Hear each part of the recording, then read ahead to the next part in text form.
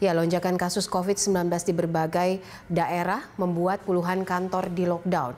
Langkah ini diambil untuk mencegah penularan virus corona yang semakin meluas.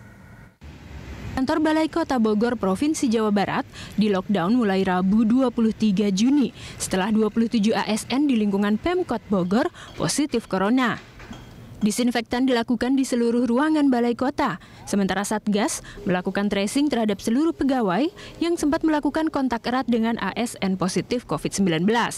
Lockdown kantor Balai Kota Bogor akan dilakukan hingga Senin 28 Juni 2021. Terus merebaknya kasus pandemi COVID di Kota Bogor, uh, di mana saat ini ada 27 ASN di Kota Bogor yang juga terpapar.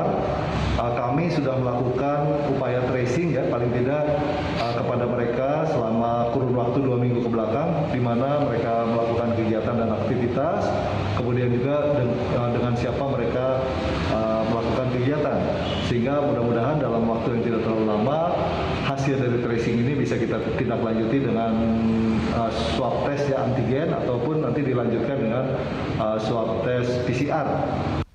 Di Jakarta, DPR juga telah melakukan lockdown.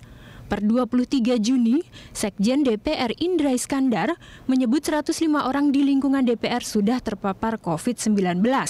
17 di antaranya anggota dewan. Wakil Ketua DPR Sufmi Dasko mengatakan bahwa hampir keseluruhan alat kelengkapan dewan sudah menerapkan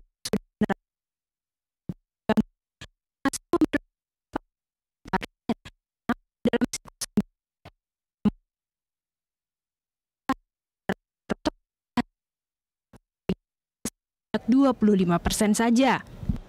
Seperti diketahui, Komisi 1 telah menerapkan lockdown dengan menghentikan seluruh kegiatan di ruangan komisi sejak Selasa 15 Juni. Komisi 8 menyusul mulai Kamis 17 Juni dan Komisi 7 mengambil langkah serupa terhitung sejak Jumat 18 Juni 2021. Gedung Pengadilan Negeri Jakarta Pusat di Kemayoran juga ditutup sementara selama tiga hari, terhitung sejak Selasa 22 Juni. Ini dilakukan setelah 27 orang hakim dan pegawai terpapar COVID-19. Selasa 22 Juni 2021 sampai dengan esok Kamis tanggal 24 Juni 2021 untuk sementara kegiatan operasional di Pengadilan Negeri Jakarta Pusat dihentikan. Namun demikian kepada pegawai maupun hakim tetap diinstruksikan melakukan pekerjaan dari rumah atau work from home. Kepada pelayanan publik yang sifatnya urgent atau sangat mendesak tetap dilayani di Pengadilan Negeri Jakarta Pusat di mana ada pos para pejabat yang tetap standby. Lockdown juga dilakukan oleh puluhan perkantoran di berbagai daerah, baik instansi pemerintahan, kantor swasta, hingga institusi pendidikan. Langkah tersebut terpaksa diambil menyusul terjadinya lonjakan kasus COVID-19 yang signifikan.